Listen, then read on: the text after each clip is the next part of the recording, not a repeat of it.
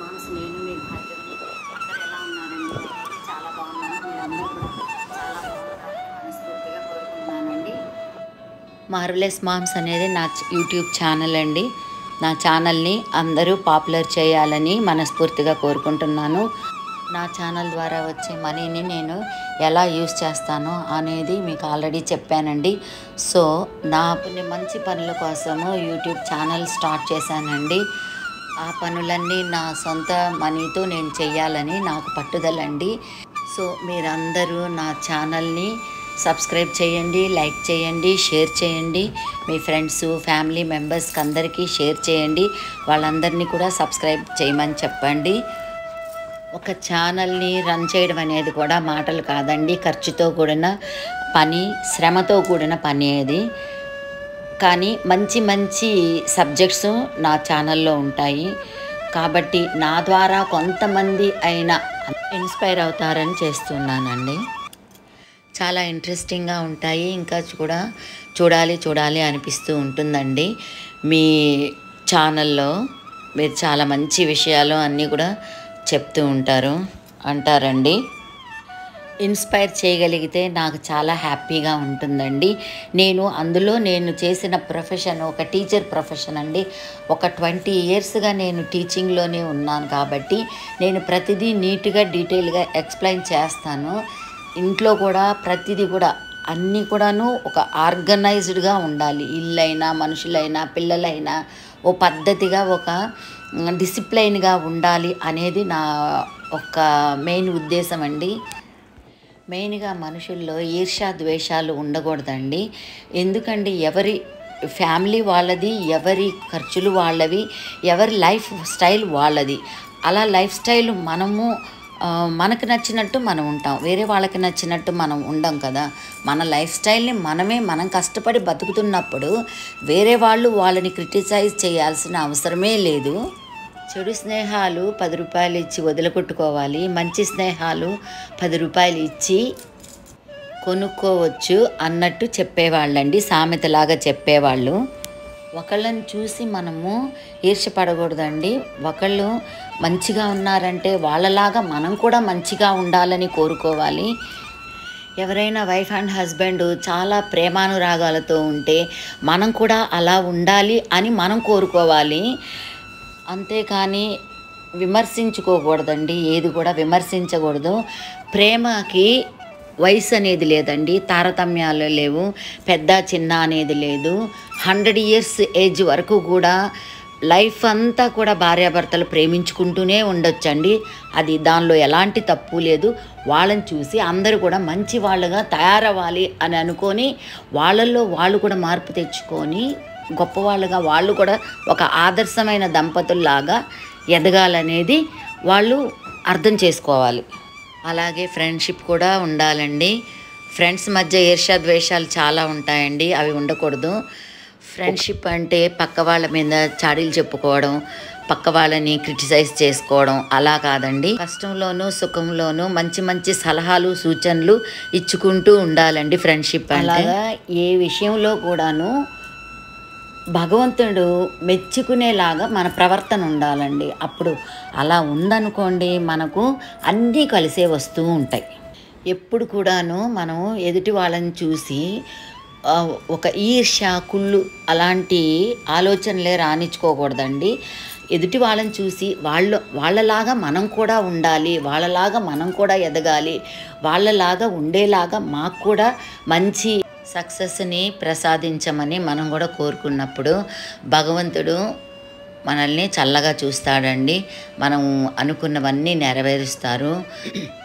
అందరూ బాగుండాలి అందులో మనం ఉండాలి అనుకుంటూ ఉండాలండి. ఎవరు ఎన్ని చెప్పినా అందులో ఉన్న మంచిని మాత్రమే గ్రహించి చెడుని వదిలేస్తూ హ్యాపీగా లైఫ్ని సాగించుకుంటూ ఉండాలండి.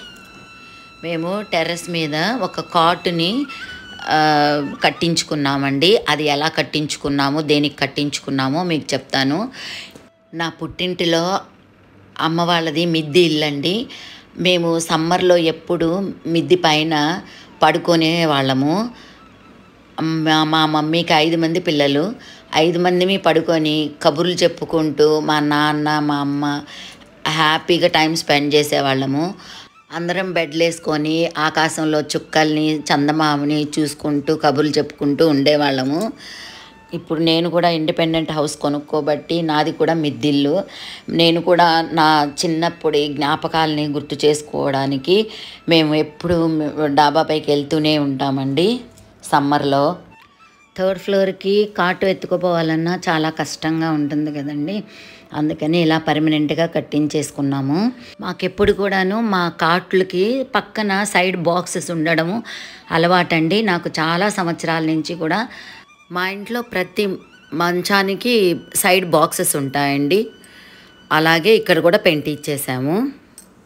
మంచం మీద పడుకున్నప్పుడు ఏదైనా మనము పక్కన పెట్టుకోవాలి అని అంటే బాక్సెస్ ఉండాలి కాబట్టి కంపల్సరీ లైట్స్ కానీ మెడిసిన్స్ కానీ వాటర్ బాటిల్స్ కానీ స్పెట్స్ కానీ ఇంకేని ఐటెం కానీ ఫ్రూట్స్ కానీ ఏమన్నా పెట్టుకోవడానికి మనకు కన్వీనియంట్గా ఉంటుంది. ఇక్కడ వంట ఏదైనా చేసుకోవాలనుకుంటే ఉంటుందని కిచెన్ ప్లాట్ఫామ్ లాగా ఒకటి కట్టించామండి చిన్నది. బార్బిక్యూ అలాంటివి ఏమైనా చేసుకోవడానికి. ఈ డైనింగ్ టేబుల్ అయితే మేము ఫస్ట్లోనే కట్టించేసుకున్నాము. స్టార్టింగ్లోనే కాంపౌండ్ వాల్ లోపలంతా టైల్స్ వేసేటప్పుడే అది కట్టించేసుకున్నాము. మా టెర్రస్ మీదకి రింగ్ రోడ్డు కూడా బాగా కనిపిస్తూ ఉంటుందండి. వెహికల్స్ పాస్ ఆన్ అయిపోతూ ఉంటాయి.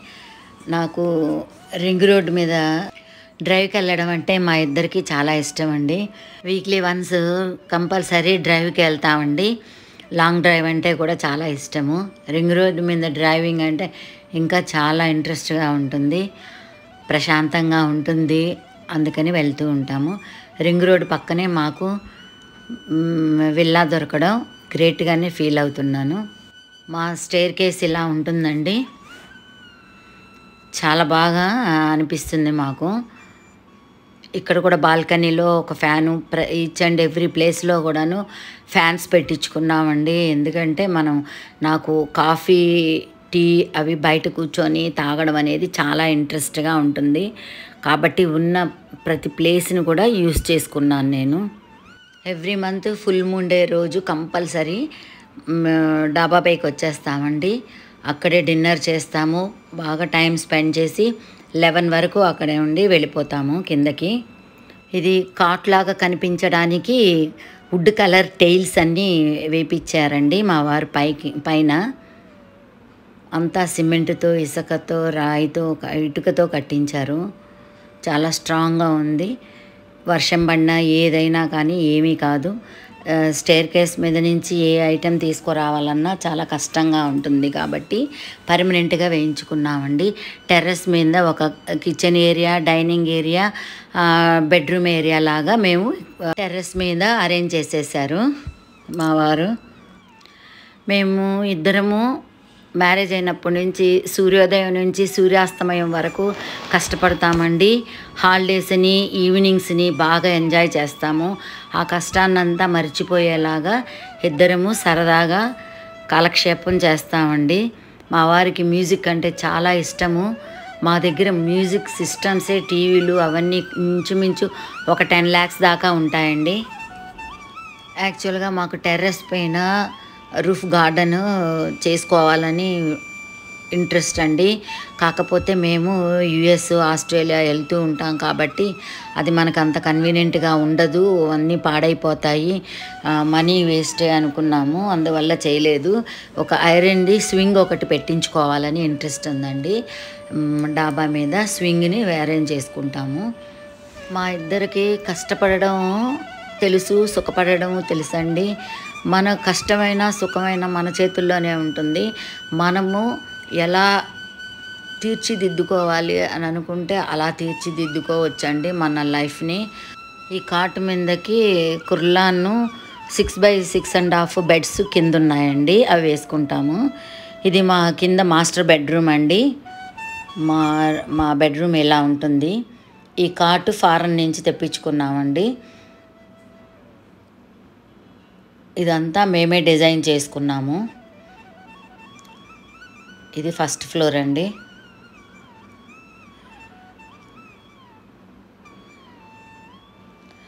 ఇది మా బెడ్రూమ్ పక్కన హాల్లో ఉండే బా బాల్కనీ అండి. దీనిలో కూడా ఒక కాఫీ సెటప్ కాఫీ టేబుల్ ఒకటి ఉంటుందండి. సోఫా ఒకటి గార్డెన్ అంతా చేసుకున్నాము. వ్యూ అయితే చాలా బాగుంటుంది. ఇదేనండి. మేము ఏమేమైతే చేయించుకున్నామో మీకు అప్పుడప్పుడు వీడియోస్ పెడుతూ ఉంటాను. మీరు కూడా చూసి మీకు ఇంట్రెస్ట్ ఉంటే మీరు కూడా చేయించుకోవచ్చని నేను వీడియో పెట్టానండి. అందరు కూడా చూడాలి అని అంటున్నారు. ఆంటీ ఎప్పుడు పెడతారు మీరు వీడియో అని అన్నారు.